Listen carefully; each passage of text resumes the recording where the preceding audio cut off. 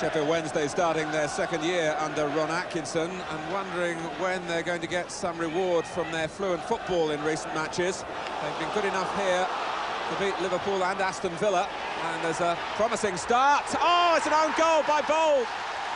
A sensational start.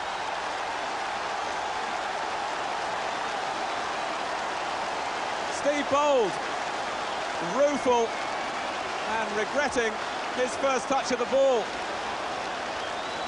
Arsenal caught absolutely cold.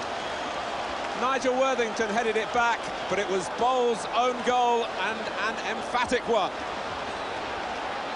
Within seconds of the kickoff,